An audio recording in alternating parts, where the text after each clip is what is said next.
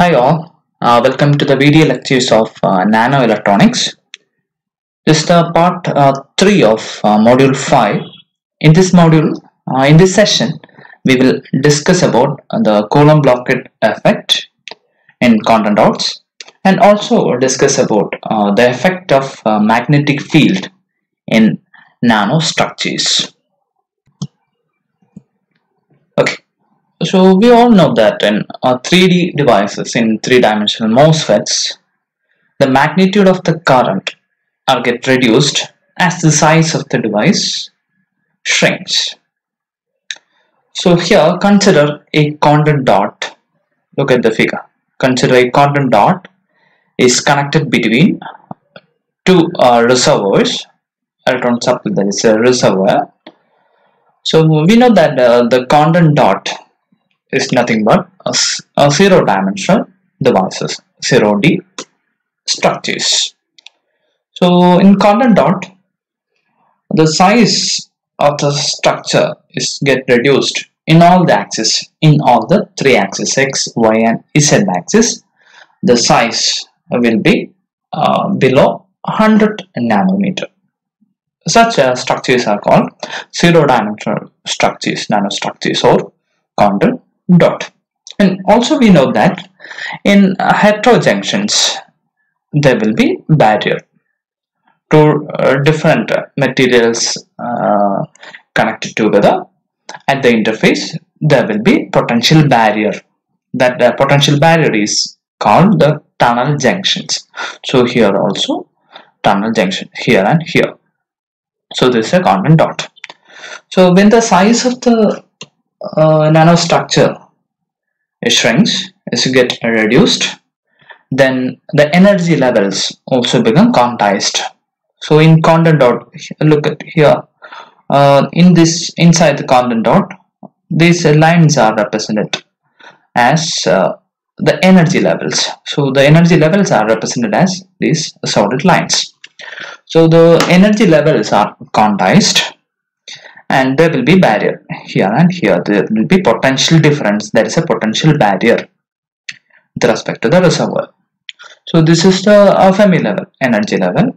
Fermi energy level EF1 here also Fermi energy level EF2 so uh, in the heterojunction we know that there will be tunneling. So the electrons uh, will move from the reservoir 1 to the quantum dot through the barrier that is a perpendicular transport. Such movement of electrons is called the tunneling effect. Okay. So here, in order to allow the transport of electrons to or from the reservoirs, the barrier will have to be sufficiently thin. Uh, we know that uh, when the barrier thickness is get uh, when uh, when the barrier thickness becomes thin, very thin, the tunneling will be more. Anyway, uh, the electrons uh, will be trapped inside the quantum dot. The quantum dot is collecting electrons or charge carriers. So, the quantum dot will have capacitance. So, the quantum dot will act as a capacitor here because the electrons are trapped inside the quantum dot. Also, the capacitor, we all know that capacitor will collect uh, the charges the charge. So there will be here also there will be the capacitance. So consider there are n a number of electrons in the dot. Uh, so when you form the junction there will be tunneling and the tunneled electrons will be settled in these energy levels. Suppose, suppose we want to add one more electron to the quantum dot. After the tunneling if you want to add one more electron from the reservoir to the quantum dot you need to apply external electric field. You need to apply external voltage.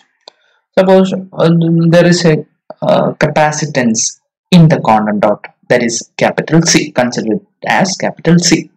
And the number of electrons capital N and charge inside the quantum dot uh, consider this as consider it as capital Q.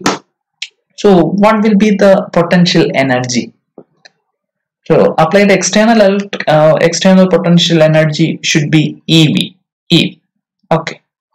Uh, q into v that is potential energy. So what will be the potential energy of capacitor here? So quantum dot will have capacitance. So the potential energy in the quantum dot will be q square by 2c where q is the uh, charge. So we know that the potential energy of a capacitor is q square divided by 2c so the uh, energy uh, q square by 2c q is the charge uh, so uh, electron charge we can take it as small e. So e square by 2c so in order to move one electron from reservoir 1 to the quantum dot you need to apply external energy external potential energy. So external potential energy ev that is equal to q square by 2c so what should be the voltage applied? Potential energy is q square by 2c applied potential energy should be q square by 2c so here also if the charge in quantum dot is capital q and its capacitance is capital c the potential energy we know that it is q square by 2c so the question is that what should be the applied voltage in order to move a single electron from uh, reservoir 1 to the quantum dot? So potential energy ev is equal to q square by 2c so what will be the capital v? Ev is equal to q square by 2c so v is equal to q square 2c divided by q. Or e square uh, q is e. E square 2c divided by e. Okay. So the voltage will be e by 2c so the potential energy is e square by 2c so the voltage will be e by 2c so when you apply a minimum uh, external voltage uh, e by 2c then you can move an electron from reservoir 1 to the quantum dot. The reverse process is also possible. Anyway if you apply a voltage an external voltage equal to e by 2c there will be movement of a single electron from reservoir 1 to the quantum dot. So this is the IV characteristics in a quantum dot which show the Coulomb blockade effect so if the applied voltage that is uh, in x-axis it is voltage y-axis current. So uh, take this current if the applied voltage is less than uh, E by 2C if the applied potential energy is less than Q square by 2C there will not be a um, there will not be a movement of electron so if the applied voltage is Q by 2C that is if the applied voltage is E by 2C there will be current if the applied voltage is beyond this uh, uh, E by 2C definitely there will be current so uh, this is the IV current. The reverse process is also possible. There is uh, in the reverse process, a reverse movement of electron is also called the current.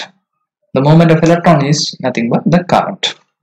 Anyway, if the uh, magnitude is less than magnitude of applied voltage is less than E by 2C, there will not be movement of electron. There will not be current through the barrier. Okay. So anyway, in order to observe the Coulomb blockade effect, the applied voltage should be greater than E by 2C. Again, uh, you need to uh, note one more point. Consider the time taken for an electron to move from uh, the reservoir 1 to the quantum dot. That is uh, change in time delta t. Uh, we know that the change in time uh, is RC, R into C. So it is RT into C. Look here. RT. Here RT is nothing but the resistance of the barrier. Equivalent resistance of the tunnel barrier. R into the capacitance of the quantum dot. So delta T, change in time, or the time taken for an electron to be transferred from the reservoir to the quantum dot is R into C, RT into C. Then uh, fluctuations in the number of electrons in the quantum dot it will uh, definitely induce changes in potential energy of, of uh, the quantum dot. The potential energy we know that it is called by 2c. So change in energy delta is approximately equal to E square by C. So the potential energy is E square by 2C. Uh, the fluctuation in uh, potential energy if you add more and more electrons to the quantum dot will approximately equal to E square by C. So delta E is E square by C and change in time delta t in the time taken for an electron to be transferred is delta t that is R into C.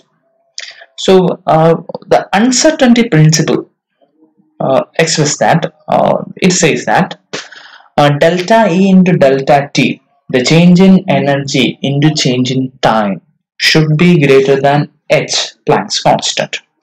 So here delta E is E square by C and delta T is R into C RT into C.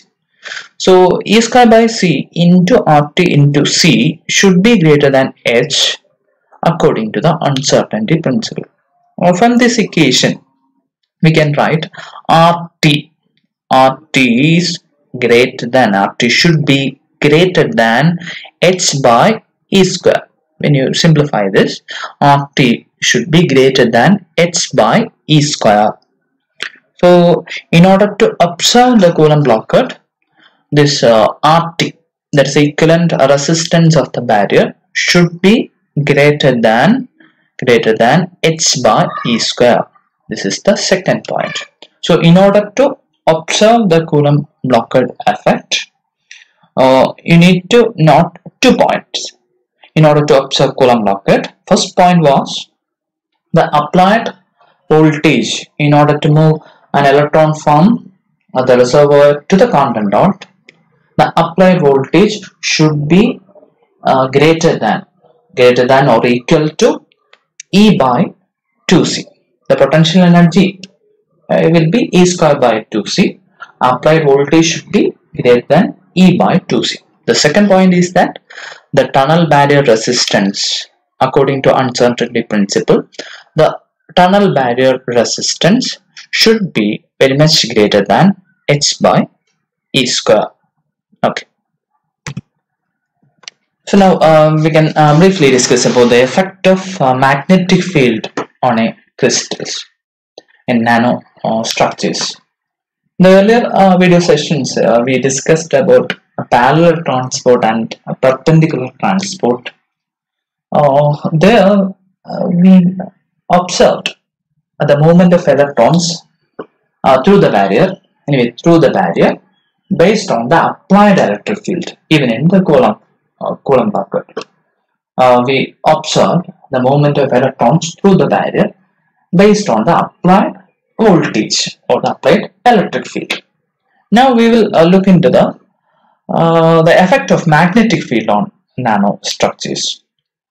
So when you apply a magnetic field, there will be changes in energy states, condensed energy states in quantum dots as well as um, quantum wells especially in uh, quantum dots uh, the effect of magnetic field will be maximum because the size of the uh, layers are get shrunk uh, under 100 nanometer in all the axes in quantum dot so uh, due to the magnetic field the energy states of uh, conduction electrons will collapse into discrete energy levels which are known as Landau levels it is very important so when you apply magnetic field, the distance between available energy levels are get reduced. The distance is decreasing.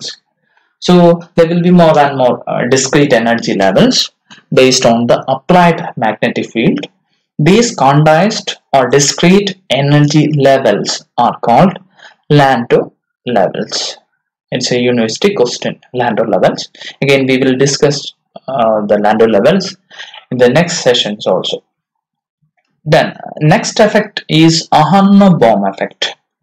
Uh, here what will happen is that uh, when you apply magnetic field when you apply magnetic field the amplitude of electron waves and the phase are going to change with respect to the magnetic flux so with respect to the magnetic field or the, with respect to the magnetic flux the phase of uh, the moving electrons is going to change. The amplitude of electron waves at certain point oscillates with respect to the magnetic flux this is the Aharonov-Bohm effect.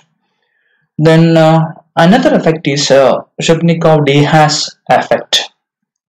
One Netherlands scientist de Haas and another scientist Shubnikov.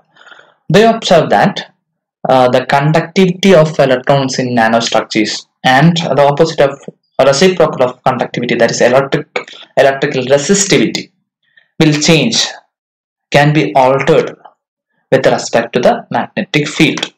So based on the intensity of magnetic field, electric resistivity is going to change. That effect is called Shubnikov-de Haas effect.